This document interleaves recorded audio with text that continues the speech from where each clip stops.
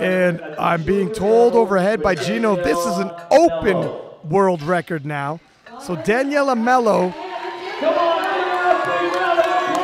just running through these world records at this point. Unprecedented what she's doing here, and she's a teenager. Chloe Dublin, 237 pounds, platform two. Dublin, USA. All the lifters and coaching staff from all nations now. You see them in the back row coming out. They all want to see what Daniella, Daniella Melo is capable of.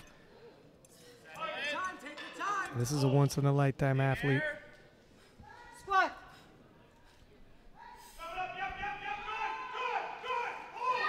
Oh, did she get it? Wow! And that is a strong, strong lift. Three white lights. There's Sean Noriega coming out with the hug. I, in terms of the struggle, take a look at this. Depth is there, and it's a fight, but she sticks with it. That bar slows down to a crawl, refusing to get.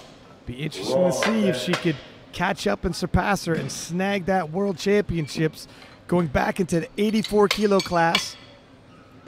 Daniella Melo increasing just two and a half kilo. 17.5 kilo get loaded on the bar. Nearly 260 pounds, Daniella Melo. 115 kilo moved well.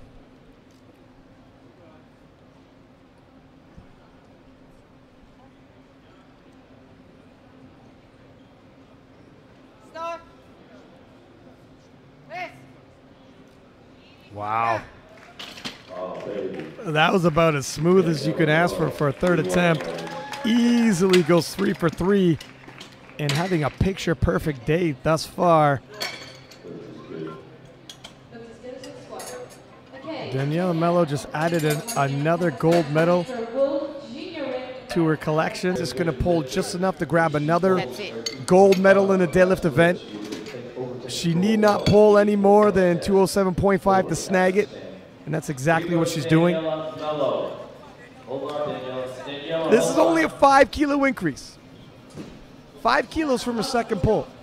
So Will she add yet another gold medal? She's already the world champion overall. 31.5 total at the gold This would actually- medal. Ladies and gentlemen, the bar is low. It- based on a round of projected totals, Give her a total higher than the 84 kilo plus, but let's not get ahead of ourselves.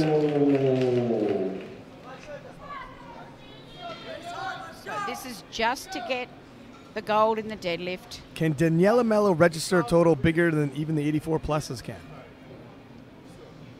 At 18 years old, you're looking at a future star. Whoa! And the Yes, answer is she yes. Wow! Daniella Melo, another gold medal in the deadlift event. Just a dominant force today. Outstanding. Wow. All right, here we go. And the last lift of the session here now. Her final attempt. It's Weatheridge from Great Britain. And Weatheridge is pulling to become a world champion. She is not risking her silver medal. Either way this pool goes, she's a silver medal.